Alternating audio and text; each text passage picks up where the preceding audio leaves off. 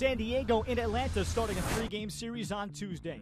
Julio Teheran still looking for his first home win of the season. And the Braves would help him bottom three of a scoreless game. Runners of the corners against Edwin Jackson. Adonis Garcia is the batter. Base hit to left, three straight hits for the Braves. Adonis Garcia makes it 1 0. Now he's got to face red hot Freddie Freeman. He was, and a line drive hit to center. Jankowski can't get it. And they're going to wave Inciarte around. The throw's going to be up the third base line. It's 2 to nothing.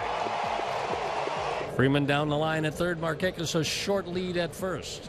Three balls and two strikes. The right-hander sets. Peterson grounds it up the middle. It's going to get through into center field. A base hit, which will score Freeman easily. So Peterson with a two-out base hits drives in another one, and the Braves have upped the lead to four to nothing. And Dansby Swanson becomes hitter number nine here in this inning. There goes the runner. There's a liner to center. Taking off for second was Peterson. He'll make it to third as Markakis scores. That's run number five in the inning. The second RBI for the rookie.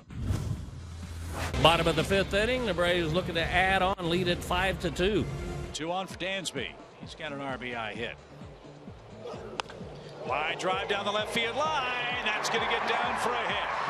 Flowers will score. Peterson's getting waved. He's around third. Relay throw won't be made. It's a Dansby double, and two runs are in, and the Braves up 7-2.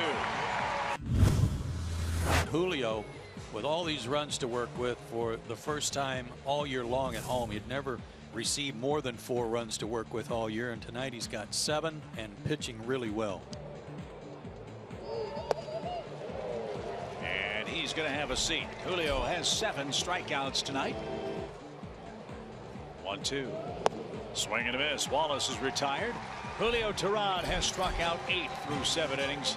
He's having himself a terrific night. The Braves take the opener of the three game series 7 3 over the Padres Tuesday. Julio Teheran improves to 22 0 for his career when he's given five or more runs of support. He picks up his first home win of the season Tuesday, throwing seven innings, six hits, two runs, and striking out eight.